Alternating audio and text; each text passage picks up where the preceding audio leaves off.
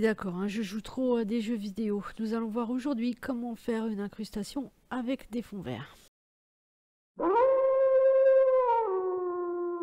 Bonjour à toutes et à tous, c'est Lou de Screenshot Tuto. Nous allons commencer par chercher les animations qui nous intéressent. Je vais vous citer plusieurs sites comme celui ici de Pixabay, de Vidizy. Bien sûr, vous aurez tout dans la description, je vous mettrai tous les liens.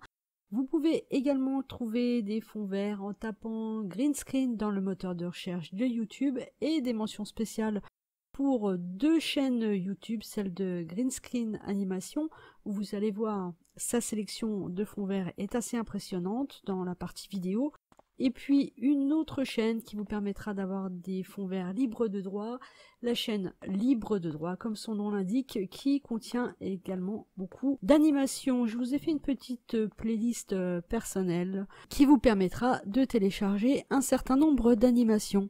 Si vous restez jusqu'au bout de cette vidéo, vous pourrez voir un petit top 10 d'ailleurs des animations sur fond vert les plus sympathiques à mon goût. Pour vous filmer, vous pouvez utiliser un drap vert, un mur peint en vert, n'importe quel support bleu, vert, pourvu qu'il soit lisse.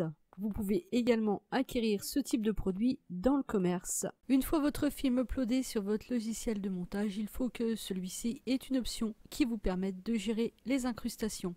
C'est le cas avec le logiciel de montage Filmora que j'utilise actuellement. Il y a une petite pipette euh, qui permet de sélectionner la couleur que l'on souhaite ôter sur la vidéo, comme vous pouvez le voir sur la diapo présentée. Et comme premier, voyons ensemble euh, le petit top 10 des animations sur fond vert.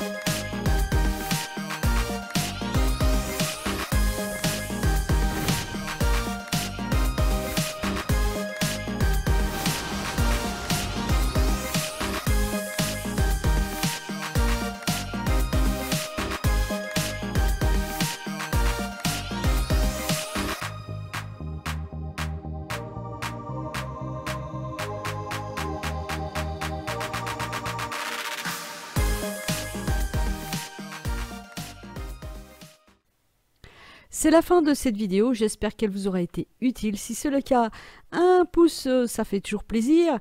Et puis si vous n'êtes pas abonné, abonnez-vous. Et si vous êtes abonné, actionnez la cloche pour recevoir toutes les notifications. A très bientôt pour un nouveau tuto.